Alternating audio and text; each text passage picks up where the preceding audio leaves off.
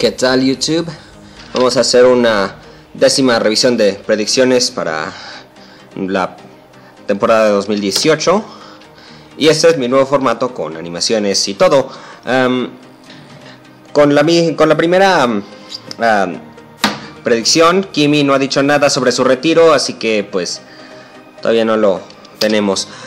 Todavía no sabemos si se va a retirar o no. Es probable que no se retire, lo vamos a saber en Monza. Eh, cuatro equipos ganando carreras. Hasta, hasta ahorita nada más los, los tres equipos principales han ganado carreras. Mercedes ha ganado 5, Red Bull 3, Ferrari 5, contando el Gran Premio de Bélgica. Así que, pues sí, todavía, todavía no. Honda, carreras buenas, carreras malas y con fallas en los motores. Tenemos aquello de carreras buenas, carreras malas desde el Gran Premio de China, cuando en Bahrein um, Gasly acabó en cuarto lugar y en China pues, se fueron a dar en la madre uno con, con el otro. Entonces, pues sí, eso pasó y como decía um, el propio Chamber, los Honda, los Toro Rosso, han sido los que más han tenido que utilizar componentes de motores por encima de su cuota. Entonces, pues tenemos ese punto desde hace un buen rato. 15 autos con penalizaciones de motores. Vamos a volver a ver el, el esquema que les daba hace un momentito. Hasta ahorita 14 lo tienen, es decir, uno más y ya lo tenemos. Estoy contando también aquellos que han salido de los pits, es decir, los Williams y penalizaciones, por la caja de velocidades. Entonces eso nos da un total de 14. Es decir, uno más, ya, sea Kevin Magnussen, ya sea Kevin Magnussen, algún Force India o algún Ferrari, y ya lo tenemos. Entonces, por ahora es medio punto, pero estamos a punto. McLaren acaba, acaba arruinando su, su carrocería naranja. No ocurrió, su carrocería naranja es excelente. Red Bull no, no tuvo, no, no tiene una mala carrocería, así que digo no tiene una carrocería única, ha sido la misma de los últimos años. Un choque que causa una controversia sobre el Halo. Bélgica. Hubo un choque horrible en la primera curva, en la primera vuelta. Y Charles Leclerc, el Halo, le salvó la vida. Así que, pues, eso. Indicar nada, nada sobre el parabrisas. Eh, llanta super dura, ya sabemos que no se va a usar. ahorita la imagen no tengo el los datos de Abu Dhabi, pero ya fueron confirmados que va, que va a ser uh, Hypersoft Ultra Soft, Super Soft. Es decir, queda la llanta dura solamente para Gran Bretaña. Eh, Liberty Media se le pone la quema de los tacos en cuanto a las Grid Girls. Claro que ocurrió, lo tenemos desde hace rato por aquel intro flamboyant que de plano no deja ver absolutamente nada ni a las Grid Girls ni a las Grid Kids, que supongo yo es ponerle demasiada crema a sus tacos, pero efectivamente sí le pusieron bastante, bastante esfuerzo en asegurarse de que el de que, salga bien el intro y por claro no lo puedo mostrar todo por copyrights. Reglas del 2021 incluyen el MGUH. Hasta ahorita todavía no lo sabemos, pero Mercedes ha dicho que, que quitarlo es una muy mala idea, así que tal vez Valtteri Bottas está P4 en, en campeonato, es decir, nos está ayudando bastante con esto y con haber salido en la parte trasera de la parrilla, sale, sale, sale bien para nuestra predicción, así que pues tenemos eso muy bien. Red Bull definitivamente no va a firmar con Fernando Alonso, ya que pues el asturiano dijo, ¿saben qué? Andaos a la hostia, porque yo me retiro ha tenido cuatro horribles temporadas con, con McLaren. Ya es hora de que esté hasta la madre. Ah, Red Bull sí va a firmar con Honda, de hecho ya firmó con Honda y Red Bull Honda será será el verdadero nombre del bueno, quién sabe si es el nombre del equipo, pero Red Bull va a correr con motores Honda a partir del 2019. Ah, Alonso sí ganó las 24 horas de Le Mans, perfecto para él y eso nos da un punto más en la en el cuadro un ganador nuevo. Ya sé que ya sé lo que dirán, pero yo considero que Max Verstappen sí cuenta como ganador nuevo porque ganó en Austria por primera vez sin que Kvyat fuera degradado. Ya se acordarán que en 2016 en España y en 2017 Malasia y México Max Verstappen ganó habiendo sido Kvyat mandado pues, a volar. Vettel, eh, el doble de, de puntos de Kimi. Con Vettel ganando la carrera y Kimi Raikkonen retirado es el es nuestro mejor nuestra mejor posibilidad para para que se cumpla esa predicción. Hasta ahorita va en 1.46. Entonces, pues ahí van las cosas. Red Bull acabando en segundo. Es prácticamente imposible. Ya que Red Bull acabe segundo va a ser muy muy difícil. Ya Ferrari tienen prácticamente garantizado el ganar el campeonato. Entonces, pues sí. Williams séptimo o peor está prácticamente garantizado. Aquí tenemos a los dos muchachos de Williams que de plano no dan una en toda esta temporada. Y una bandera roja por una tarugada. No se acordarán del Gran Premio de Mónaco cuando tenían mal puesta una, una coladera. Así que, pues bueno, en el cuadro de Chainba tenemos un total de 9 puntos de 25 hasta ahora. Vamos a ver cómo terminamos la temporada. Y en mi cuadro de predicciones vemos, vemos aquí esta crucecita azul porque en el Gran Premio de Gran Bretaña este tweet acabó con un like de WTF1 aunque no salió en Internet's Best Reactions pero pues bueno good enough nadie ha salido del closet y Fernando Alonso no ha hecho una referencia explícita de su foto de huevón de hace unos años, pero sí apareció en Hungría manipulando um, una cámara de televisión, lo cual creo que por la posición es lo suficientemente cerca como para que cuente. Vamos a hacer un recuento de las fotos sin playera. Para empezar, Esteban Ocon, P3 en clasificación en Bélgica, perfecto habíamos contado esta foto, pero durante el verano sacó esta otra que creo que se ve muchísimo mejor. Entonces, está eso. Uh, Lewis Hamilton tenía esta fotografía, pero Tommy Hilfiger lo más probable es que tenga Photoshop. En cambio aquí es uh, screenshot de un, de un videoclip. Así, entonces está Hamilton tal y como es él. Aquí está Pierre Gasly con la foto que teníamos antes, pero en el verano sacó esta foto. Creo yo que es suficiente. Entonces,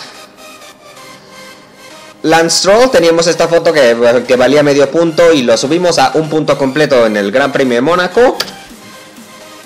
Pero durante el verano se subió esta foto durante, de una de sus cuentas de fans.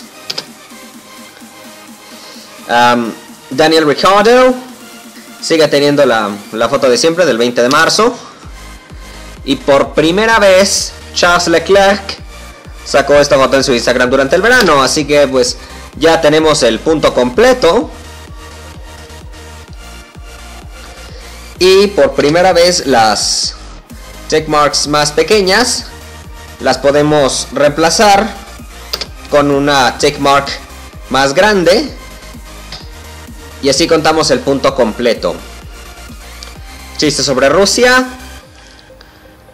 Tenemos tenemos a Force India sacando un chiste sobre Sirotkin en el Gran Premio de Canadá. Eso cuenta. Kimi no estaba precisamente muy feliz de no tener el su, su botella de bebida en el Gran Premio de Hungría. You forgot to connect the drink pipe. Yes, confirmed. Is the drink? Is it on now? Okay, I have no idea. We forgot to connect, Jimmy. You will not have the drink, sorry. And Is it on or not? The drink?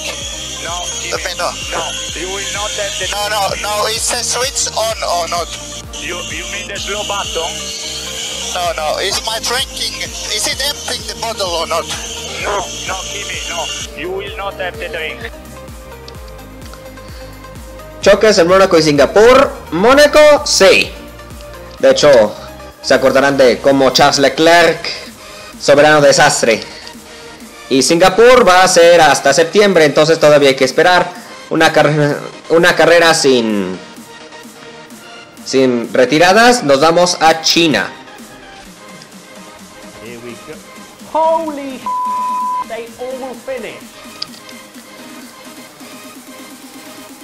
Técnicamente Hartley sí se retiró, pero pues, es medio punto. Nadie ha sido descalificado, aun cuando Roman Grosjean en España debía haberlo sido, así que pues, pues bueno, todavía falta un buen rato en la en la temporada, pero nadie ha sido descalificado desde 2015, así que pues yo creo que no. Lewis Hamilton, Princess Dressgate, hasta ahorita las estadísticas hablan por sí solas. I'm so sad right now. Look at my nephew. Why are you wearing a princess dress? Is this what you got for Christmas? Why did you ask for a princess dress for Christmas? Boys don't wear princess dresses!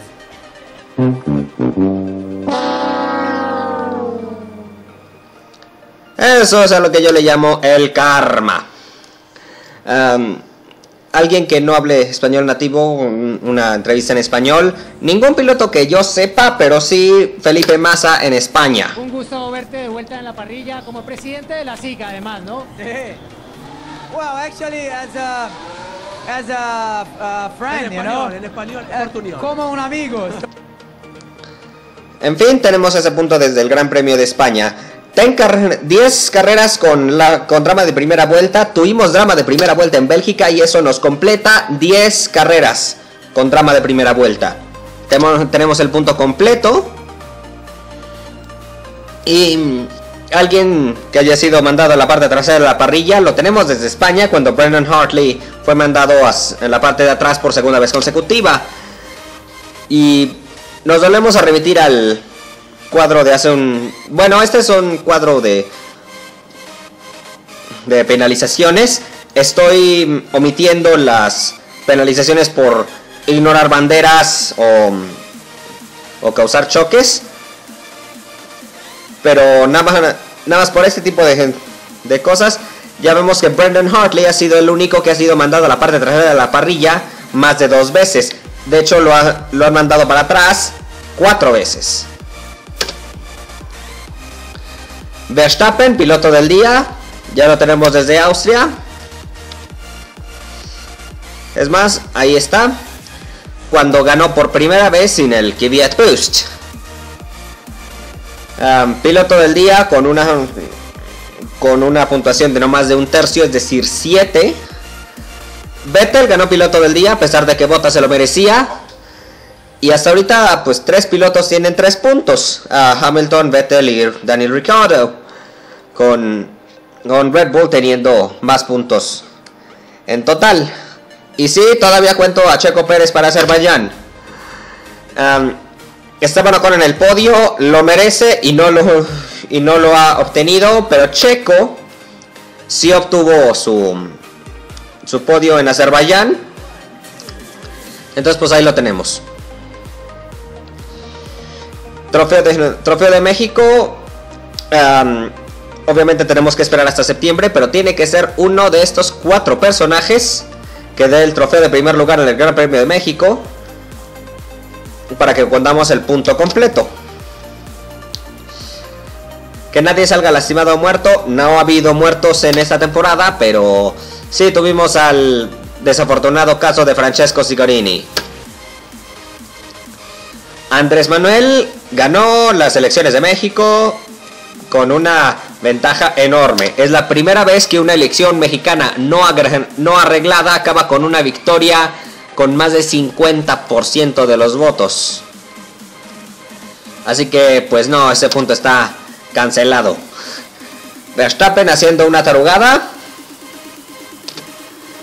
Pues lo tenemos, lo tenemos desde hace un buen rato y se acordarán que en Mónaco, pues esto pasó. Nos acostumbraremos al Halo, claro que desde, desde España, Fukuzumi, y ahora en... Bueno, este es el auto de Tadasuke Makino. Tadasuke Makino. Y aquí está Charles Leclerc. Después de, del Gran Premio Bélgica, cuando el Halo le salvó la vida. Problemas comparados en los pits en 10 carreras. Ya tenemos, ya tenemos el punto desde hace rato. Ya tenemos 12 carreras con, con problemas en los, las paradas en los pits. Y estoy contando en cuanto a Bélgica. Este pequeño incidente con Pierre Gasly. Force India no han chocado uno con otro, lo cual es excelente. Se la pasaron gran parte del Gran Premio de Bélgica en lugares adyacentes y no chocaron uno con otro. No llegaron al podio, ya sabíamos que no iban a llegar, pero eso. Tenemos medio punto dado que sobre- sobrevivieron al proceso de administración. De evaluación del paso mexicano tenemos ese punto desde antes de las elecciones, es decir, desde el Gran Premio de Francia, Austria. Y aunque el peso haya recuperado valor, no voy a dejarlo ir. Y 19 de septiembre yendo terriblemente mal. Todo parece indicar a que sí, dado que, este- dado que el problema de Esteban Ocon y su permanencia en, en Force India podría acabar en el Gran Premio Singapur y eso mm, sería un punto excelente. Todavía tenemos, todavía tenemos que esperar hasta el Gran Premio Singapur el 16 de septiembre antes de saber con seguridad, pero pues va siendo muy probable. Nos, tenemos un total de 15.5 de 25. Si le sumamos los 9 del cuadro de Chainba, tenemos 24.5 de 50. Medio punto antes de completar la mitad.